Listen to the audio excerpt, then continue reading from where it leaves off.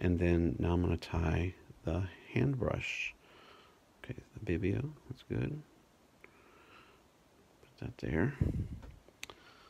Put in my next hook. Again, the same kind of hook. I already have my barbs um, pressed down. And the whole thing about barbs being pressed down, the one for the hook itself, um, these are pressed down so that you don't tear up the thread. But the one on the hook itself, if you're catching and releasing, if you're just fishing for fun and not actually trying to catch fish to eat, it makes the hook easier to get out of the fish's mouth without without stressing them out too much. Um, so I hope this I don't even know how long I've been going, but this video I hope it's not too long. I've been trying to tie and make shorter videos because people don't like to sit and watch a person tie a fly for 30 minutes generally.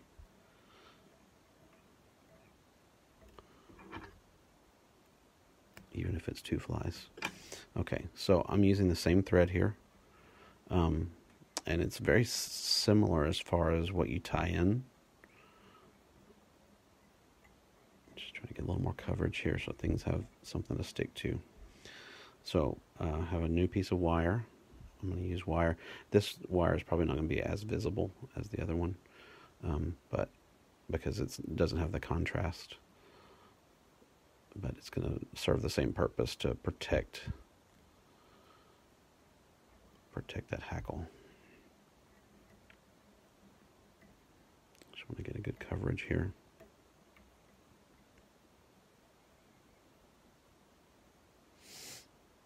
I tied that one a little close to the head there, but that's okay. Or the eye of the hook. All right, so I'm going to get this down to the end. Okay, got that in there. Now this one uses uh, kind of a reddish hackle. I'm going to tie that in the same way I tied the other one um, so that it goes bigger as it goes forward. And this one was kind of different because I was trying to figure out which feather I wanted. I have some other hackles that are similar in color um, and trying to compare the ones that they tied with. And these are, uh, this is a little bit darker feather than the other one. I thought I would like the other one better, and then I looked at it more closely against the the green thread that this uses, and it just didn't look quite right. So I went with this one instead of the other one. All right, so let me um, now I'm going to tie in the green thread. Uh, so I don't, I didn't have any of any kind of tying thread this color. So I pulled this off of a piece of um, paracord. It's this bright green. It's a good color for a St. Patrick's Day fly. Uh, so I'm just going to take this and wrap it around the thread here and just go up and it pulls it in place like this. So I'll do that and just put a few wraps around it. Oh, come on, Hackle, get out the way. You see my thread, I keep hitting the tip of the hook with that. That can be bad if it's super sharp hook because it can just cut your thread and it'll snap. This it's crazy. This thread is really super tough, but it also breaks super easy. Kind of a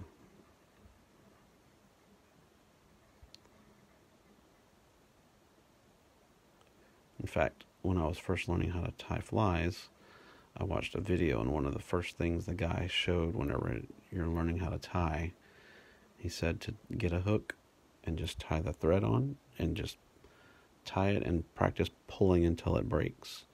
And then you'll know how hard you can pull it before it breaks.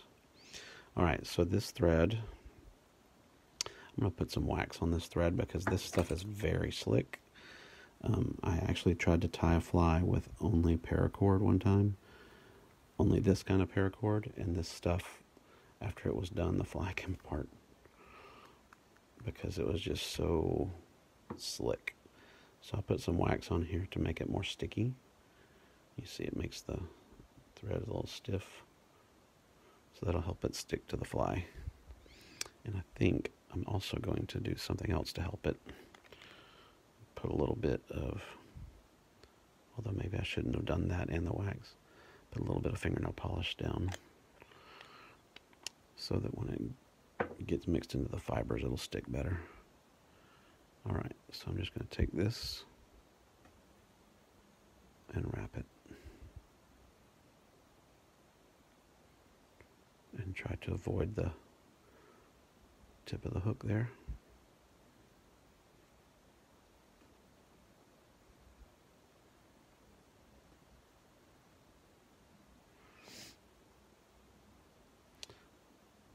And I want to give myself some room here at the head. In fact, let me go ahead and bring this up a little bit. Because I've got to tie in some deer hair at the top of this thing.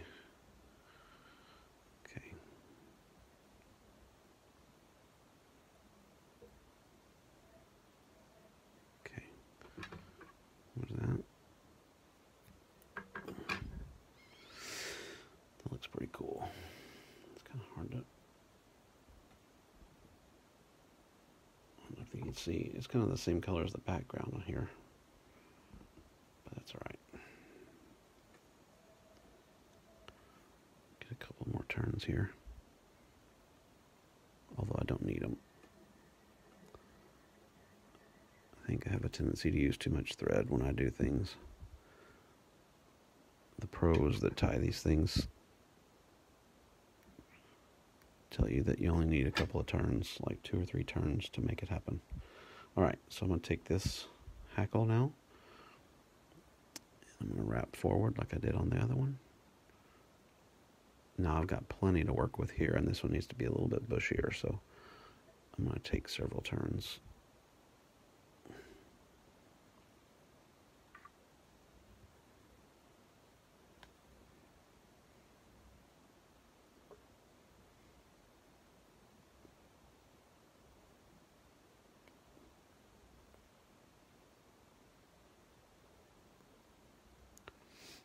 Almost feel like I should have used two hackles on this one because it doesn't look thick enough compared to the standard I'm going off of. So I'll take a couple of last turns in one spot here, make the head a little bit thicker. Tie this off.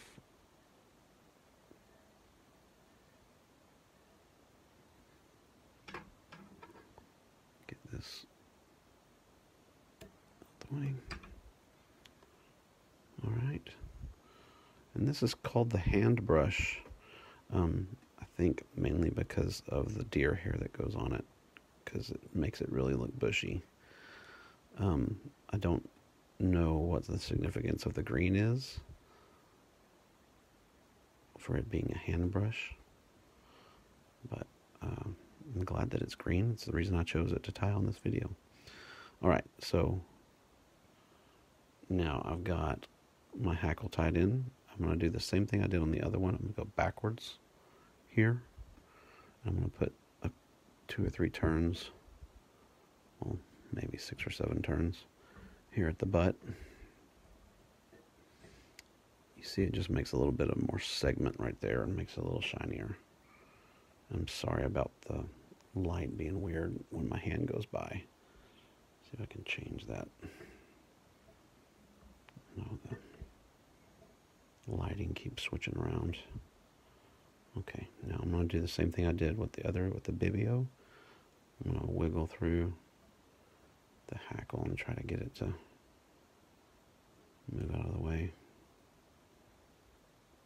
Like that. Some of them are still going to get pressed down, and you can use a needle and pick them out. But not too concerned about it if they get stuck. I have to tie some more of these. It's a good looking fly. even if you just did that right there and left it alone, that would be good for fishing with. But the deer hair is going to give it a kind of a wing.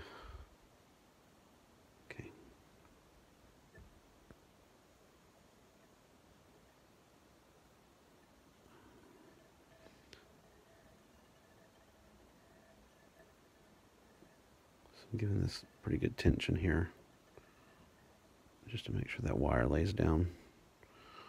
I'll lay it over that like I did on the Bibio. and Take a few a few turns and try to keep these hackles from getting stuck in the thread. Snip them off before they get all unruly.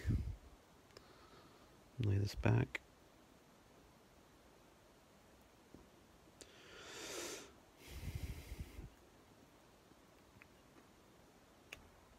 I don't want to build up too big on this before I tie in the deer hair. So I'll leave it right there. Find, did I already break it off? Oh, there it is. I thought that it snapped. Okay. All right, so there's the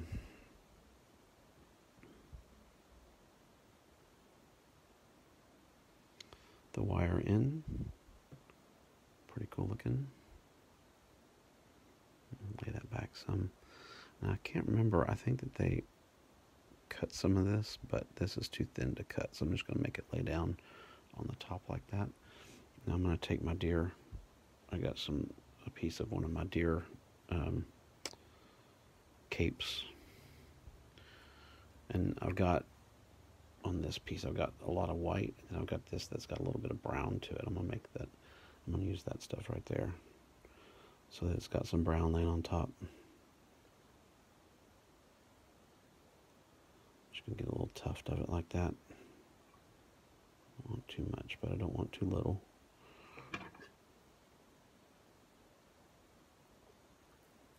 Really get down in there. Um,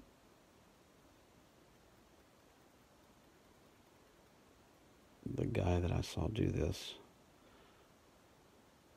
he made his flies really rough.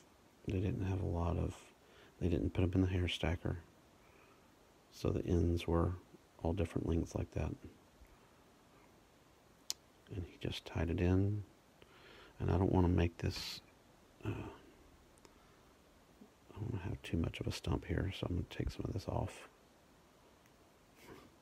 The messy part of fly tying, when you trim deer hair and it pops everywhere. So I'm just going to lay this on. I want it to be about the length of the whole hook. And then this is going to bulk up in a big way. So I go around the hair two or three times. I give a little bit of tension, but not too much until I get it wrapped a few good times. And then very carefully I pull it. I don't want to break that thread.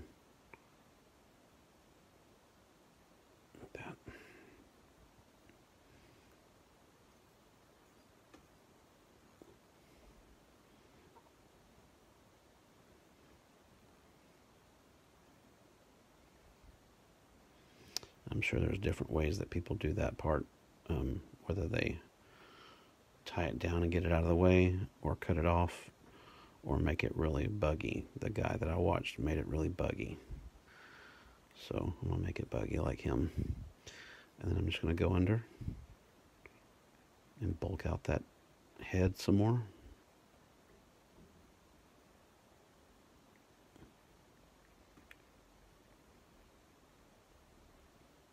Nice bulky head. Like that. I'll trim off that piece of hackle that popped out. I'm going to get my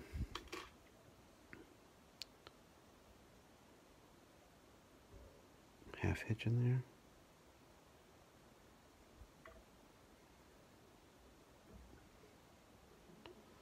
Real quick show you the half hitch with my other hand, if I can find that pin.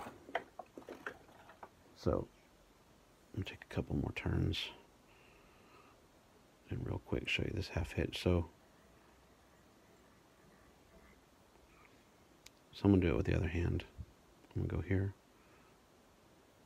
I'm to use this pin. I'm to take a turn around the pin like that. I'm to put the pin head over the eye of the hook. I'm used to doing that with smaller hooks, but still, you get the idea that on a smaller hook that goes into the eye or over the eye, and you slide it right off onto the hook. So instead, I use my finger like that. that didn't work either.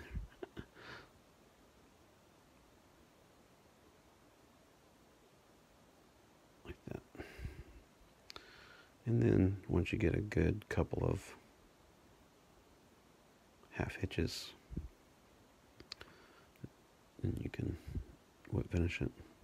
You actually don't have to put a half hitch in there because the whip finish is just a bunch of half hitches. So whip finisher just helps you smooth it over and secure it.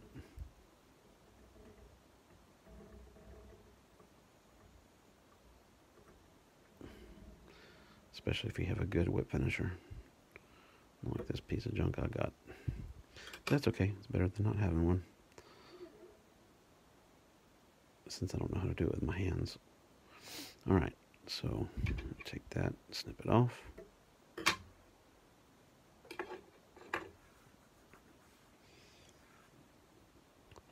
A little bit of fingernail polish. I really need to get this fingernail polish set up with the needle instead of the brush. But, because it makes it hard to get into these tight spaces.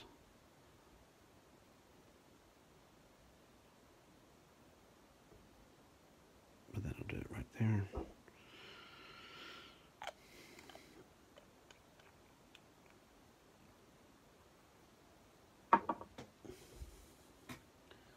Turn this light down a touch. It's a little bit too bright. I'm going to get my other fly here.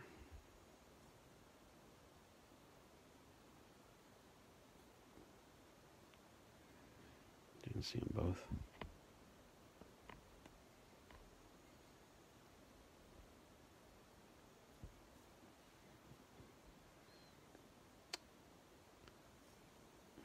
So the Bibio and the hand brush. Let me turn that a little bit so you can see the green.